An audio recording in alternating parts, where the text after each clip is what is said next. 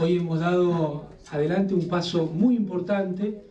eh, que tiene que ver con la transferencia del sistema de subterráneos al gobierno de la ciudad de Buenos Aires. ¿Qué implica esto? Que la instrucción que nos fuera dada por la señora Presidenta de la Nación, Cristina Fernández de Kirchner,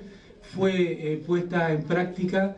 en tiempos realmente eh, que nos dejan satisfechos,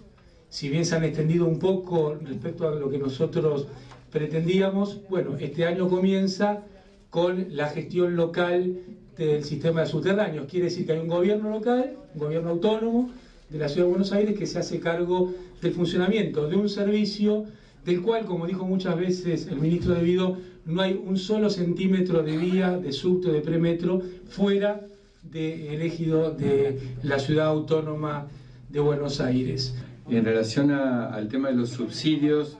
tal cual eh, lo expresamos el primer día, en esa reunión tenida hace 59 días, creo, en el mismo lugar donde se firmó el convenio hoy,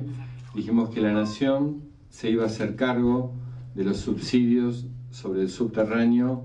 por el término de un año en el 50%, o sea que estábamos pagando el total, el 50% del total de lo que hoy estábamos pagando en términos de subsidios. Eso es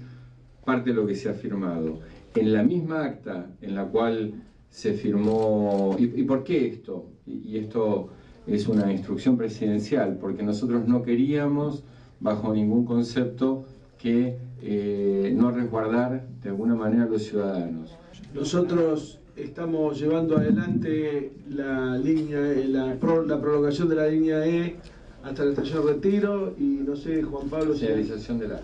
Y la señalización de la A, eso va a seguir eh, tal cual están los contratos pautados, este, financiados por el Gobierno Nacional, como fue lo oportunamente acordado. Cuando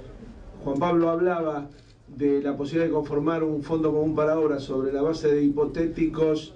eh, aumentos de tarifa que como eh, facultad ahora le caben claramente, esto es bueno de aclararlo al gobierno de la Ciudad Autónoma de Buenos Aires, este convenio habilita el control, la fiscalización y la potestad tarifaria. Está claro que la política tarifaria a partir de la firma la maneja la Ciudad Autónoma de Buenos Aires y en el caso de que hubiera variaciones en ese sentido, se conforma por partes iguales,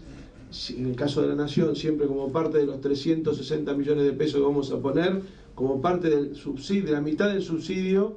que este año iban a requerir los subterráneos de Buenos Aires.